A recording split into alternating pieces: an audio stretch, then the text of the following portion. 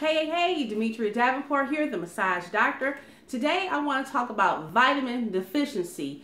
Uh, normally people who are suffering from plantar fasciitis is usually related to if you're a runner, but that's not um, true all the time. Um, if you're uh, overworking that fascia tendon and also those muscles in that lower leg, that can uh, also be the cause of your plantar fasciitis.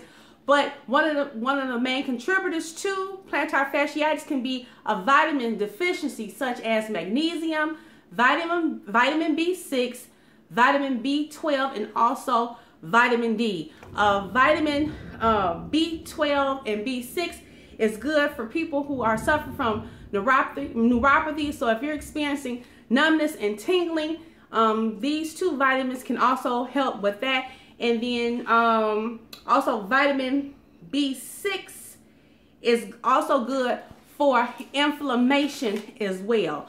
Um, before you take any vitamin supplement, please check with your doctor before you put yourself on any kind of vitamin um, supplement.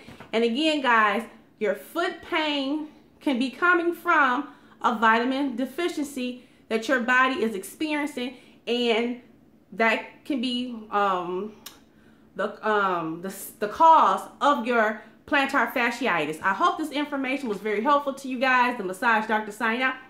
Love you. Bye.